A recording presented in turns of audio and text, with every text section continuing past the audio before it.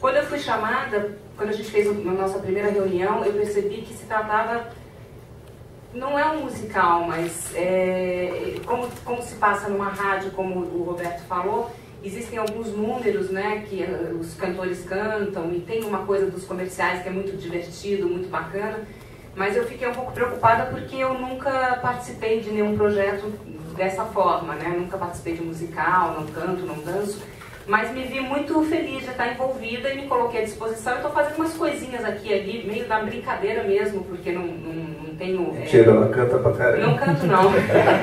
canta sim, canta. É, não, cantar não sei, mas.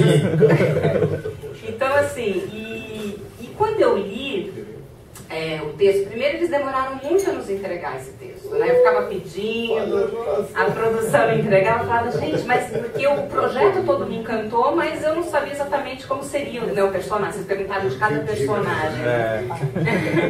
Quando chegou o texto, eu falei, até achei, falei, nossa, vai ser bem tranquilo, né? Porque não, não deve ter muito. Assim, eu vi pelo, pelo perfil dos personagens, eu falei, ah, acho que eu posso fazer ou esse ou esse, não estava nada definido, mas ia ser uma coisa muito tranquila, sabe?